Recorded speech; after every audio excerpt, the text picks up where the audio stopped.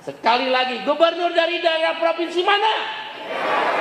Siap menangin Ridwan Kamil. Siap menangin Ridwan Kamil. Siap menangin Ridwan Kamil. Pulang dari sini, mana Winarso? Mulai hari ini, mulai hari ini, setiap pulang kerja, jangan jam kerja ya, kita mengenal namanya sapa pemilih. Pulang kerja, nggak usah tunggu dikasih duit, nggak dikasih duit. Haus minum, lapar minum, ada uang bergerak, nggak ada uang bergerak.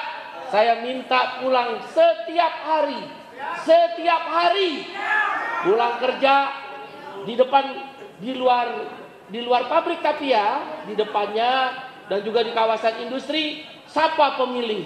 Jangan lupa nomor berapa? Nomor berapa? Nggak kedengeran nomor berapa? Siapa calon gubernurnya? Siapa wakil gubernurnya? Assalamualaikum. Selamat sore teman-teman. Jangan lupa pilih nomor satu Ridho Ridwan Kamil Suswono setiap hari. Saya sudah paham. Tapi yang penting saya mau jujur Pak Said. Kalau ada kita bilang ada, betul. Kalau kurang saya sampaikan mungkin kurang, baru bisa segini. Kalau tidak ada mohon maaf dulu. Tapi batin kita sebenarnya sama. Ingin masyarakat itu bahagia, sejahtera, dan tadi nasihat ibu saya, pemimpin dahulukan golongan menengah ke bawah dulu, supaya itulah sesuai dengan uh, fungsinya. Ya. Itulah kira-kira semangat saya memimpin. Pasangan Ridho ini datang tidak dari nol, Pak. Wakil saya Pak Suswono ini Menteri Pertanian, berarti mereka Pak Suswono wakil saya orang pintar, betul? Beliau guru, pendidik, ilmunya di bidang pertanian dan pangan, maka jadi menteri zaman PSBY. Jadi nanti urusan pangan juga kita urus. Insya Allah ada program pasar murah sebulan sekali di kelurahan, supaya ibu-ibu tidak selalu dicekik oleh harga pasar, tapi negara juga hadir untuk menstabilkan harga. Saya tadi pengalaman wali kota gubernur, jadi kami pasangan Ridho ini kurang lebih uh, ada pengalaman lah ya. Nah, saya kira itu saya akan bacakan pantun, bedanya saya pantun nulis sendiri ya, e, karena kakek saya kiai tapi pujangga juga. Ada air keruh di selokan, makan gado-gado di restoran. Saya ulangi ya, ada air keruh di selokan, makan gado-gado di restoran. Kalau partai buruh sudah terdepan, pasangan Ridho menang satu putaran. Kita ya ya ya, Jakarta Baru, Jakarta Maju, kemudian Ridho menang-menang satu putaran. Siap. Harus terdengar sampai Monas. Jakarta Baru. Ridho menang menang menang.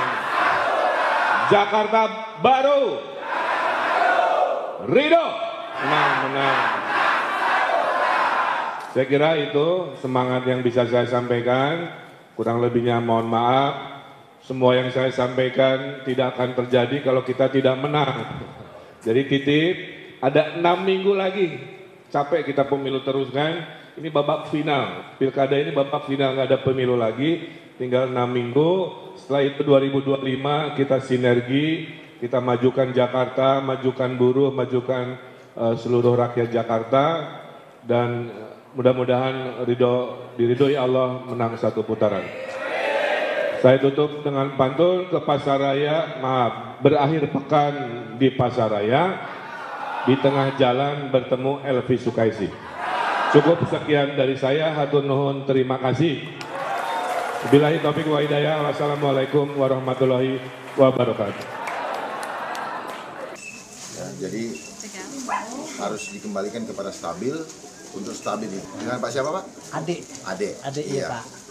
Ada yang Bapak ingin sampaikan kepada saya? Ya, bahan-bahan apa namanya? Eh, daya belinya naik. Daya beli naik. Ya. Itu harga juga jadi naik.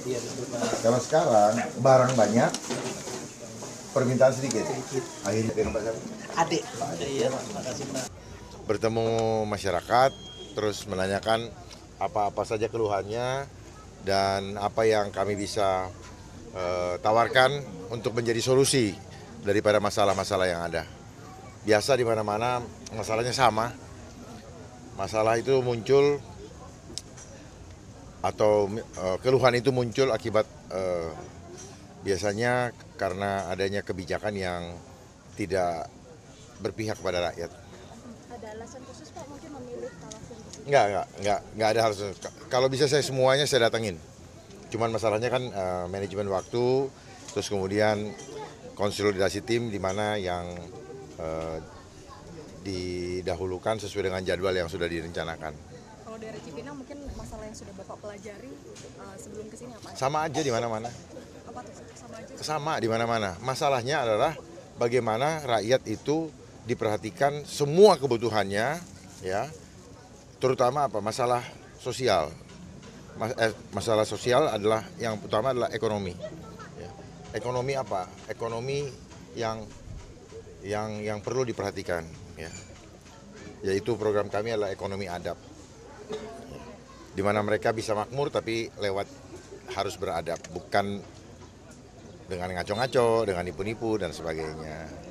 Silakan, silakan. Nanti, silakan Pak. Nanti yang lain langsung ke ruangan. Pak. Media di luar dulu ya. Siap. Siap. Baik, putus-putus dulu. MUI tapi pimpinan Muhammadiyah. Sudah ketemu. Sudah ketemu ya. Nah, beliau petinggi betul kalau di sini. Silakan. Alhamdulillah. Jadi saya ini sama Saya. ayah Iya, iya. Roy Surya, ini Kiai Auzani, sekretaris saya. Beliau putranya Kiai Mahfud Asirun juga. Sekali foto kami keluar. Jadi Gus Faiz yang saya hormati, eh, pertama tadi di awal saya menyampaikan bahwa hubungan ulama dan umaro itu harus benar-benar baik di Jakarta kalau Jakarta mau maju sebagai kota global dan menjadi pusat perekonomian atau epicentrum ekonomi Indonesia. Yang kedua, selama ini hubungan pemerintah Jakarta dengan Majelis Ulama Indonesia Jakarta ini relatif apa adem ayem lah. Gitu kadang-kadang dekat kadang-kadang enggak. Maka harus ada perubahan yang signifikan. Kalau saya mendapatkan amanah sebagai gubernur Jakarta maka yang namanya Majelis Ulama Indonesia Jakarta itu menjadi mitra strategis atau partner strategis dari pemerintah. Supaya di dalam memajukan Jakarta aspek-aspek yang berkaitan dengan keagamaan yang namanya Majelis Ulama Indonesia Jakarta itu terlibat secara langsung. Bukan hanya melihat dari jauh. Jadi itulah yang kemudian saya sampaikan dan juga tadi yang terakhir dari saya saya diberikan kesempatan untuk menyampaikan banyak hal termasuk gagasan-gagasan apa yang akan kami lakukan untuk membangun Jakarta ke depan.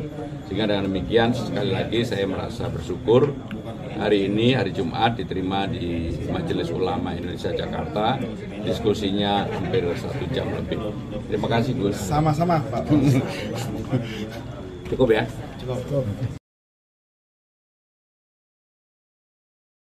Menjunjung tinggi prinsip jurnalisme dalam setiap tayangan terbaiknya.